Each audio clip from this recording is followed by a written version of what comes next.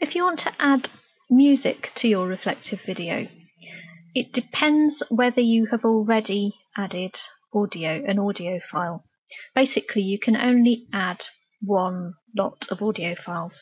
So if you've added um, a narration as an audio file, then that means you couldn't overlay another music file with music. However, what you can do is to save your movie and then re-import it. So we'll simply go to Save Movie or Computer. I'm going to put it on my desktop for speed. I'm just going to call it My Movie and save. I'm, not, I'm just going to close that box there. I've now closed and reopened Movie Maker and then I'm going to find the movie that I've just saved to my desktop and I'm just going to drag it into there.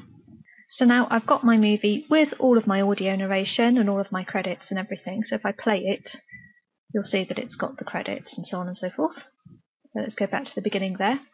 And then I will be able to add music. And of course you can do this as many times as you like to build up layers of video.